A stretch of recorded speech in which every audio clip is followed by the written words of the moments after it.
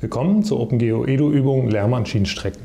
Wie in der Vorlesung zum Fallbeispiel Umgebungslärm schon erwähnt, übernimmt das Eisenbahnbundesamt die Lärmkartierung an den Schienenwegen des Bundes mit einem Verkehrsaufkommen von mehr als 30.000 Zügen pro Jahr.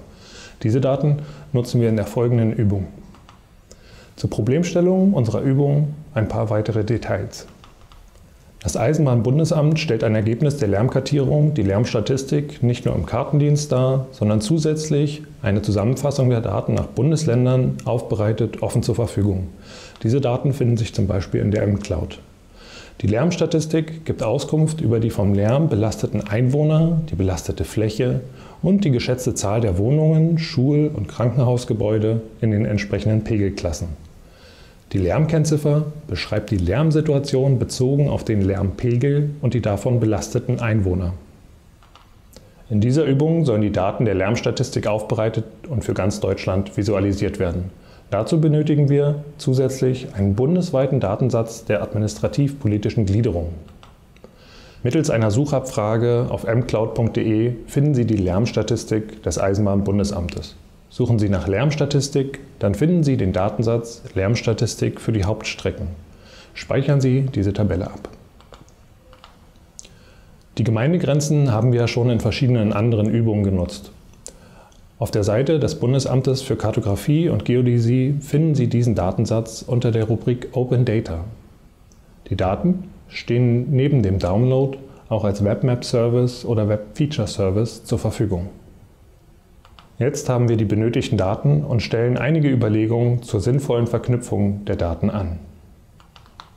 Dazu modellieren wir die Daten mittels eines Entity Relationship Diagramms. Hierfür nutzen wir Draw.io. Dies ist ein Open-Source-Technologiepaket zur browserbasierten Erstellung von Diagrammen.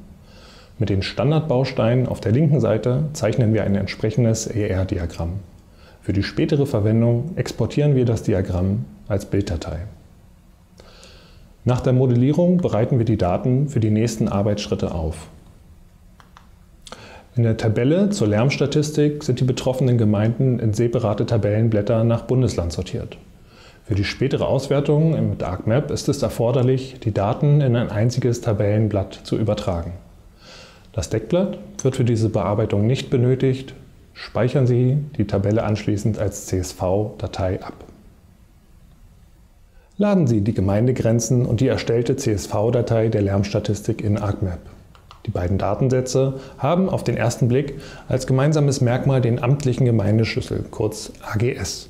Über diesen sollte es somit möglich sein, die Daten zu verknüpfen. Wir sprechen von Joinen. Bei genauerer Betrachtung der beiden Tabellen stellt sich jedoch heraus, dass bei der CSV-Datei die führenden Nullen nicht mehr vorhanden sind. Und außerdem ist der AGS bei den Gemeindegrenzen als Datentyp String bzw. Text und bei der CSV-Datei als Datentyp Long, also als ganze Zahl, eingetragen. Diese Einträge müssen somit im Datentyp harmonisiert werden, bevor ein Join durchgeführt werden kann. Ausführliche Erläuterungen der dazu erforderlichen Schritte finden Sie im Skript zu dieser Übung. Als Ergebnis der Harmonisierung haben wir eine Tabelle mit Gemeindegrenzen nebst zugehörigen achtstelligen amtlichen Gemeindeschlüssel, Einwohnerzahlen und den Lärmkennziffern aus der Lärmstatistik. Nicht benötigte Spalten lassen sich ausblenden. Da in beiden Sätzen die amtlichen Gemeindeschlüssel nun als Text und mit jeweils acht Stellen vorliegen, können diese über die gemeinsamen Werte in den Feldern AGS und AGS-Text gejoint werden. Wichtig ist zudem, die Option Keep Only Matching Records zu aktivieren, also nur die passenden Datensätze beizubehalten, damit die Gemeinden wegfallen, für die keine Lärmstatistiken existieren. Wir erinnern uns, nur Schienenwege mit über 30.000 Zügen pro Jahr werden von der Lärmkartierung des Eisenbahnbundesamtes erfasst. Das Ergebnis dieses Joints sieht so aus. Die kommunale Lärmkennziffer wollen wir nun zusammen mit den Haupteisenbahnstrecken darstellen. Zur Sichtbarmachung von verschiedenen Lärmkennziffern färben wir den Layer in der Stilverwaltung nach einem aussagekräftigen Farbschema. Dazu nutzen wir die Werte der LKZ-Spalten in einer abgestuften Darstellungsweise. Die Anzahl sowie die Intervallgrenzen der Klassen sollten sinnvoll gewählt werden. Die hier gewählte Darstellung ist lediglich ein Vorschlag.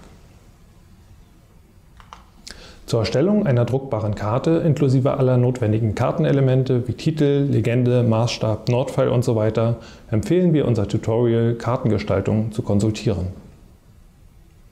Im letzten Abschnitt sollen die Methodik beschrieben und die Ergebnisse interpretiert werden. Folgende Punkte können bei der Interpretation angesprochen werden. Was wird auf der Karte dargestellt? Auf welche Daten bezieht sich die Karte? Beschreibung der Kartenlegende und der Werte, Qualitätsabschätzung und Bewertung der Aktualität der Daten sowie eine umfassende Interpretation der Karte. Beispielsweise bietet sich ein Vergleich zwischen den Regionen oder Bahnstrecken an oder die nähere Betrachtung der am stärksten belasteten Gebiete. Für Teilnehmer mit fortgeschrittenen Kenntnissen bietet sich die Aufbauübung im Advanced Level an. Diese erfordert neben der intensiven Auseinandersetzung mit Fragen wie, wie groß ist der Anteil der Einwohner je Gemeinde, der von Schienenlärm betroffen ist, welche Gemeinden sind am umfassendsten betroffen, wie verhält sich das Resultat zu der Lärmkennziffer oder welcher realitätsnahe Schwellwert sollte gewählt werden. Eine fortgeschrittene Visualisierung der Ergebnisse oder auch die Erstellung einer interaktiven Karte zeichnen die Übungen des Advanced Levels aus. OpenGeo Edu ist ein vom Bundesministerium für Verkehr und digitale Infrastruktur im Rahmen des Modernitätsfonds gefördertes Verbundprojekt unter der Führung der Professur für Geodäsie und Geoinformatik an der Universität Rostock.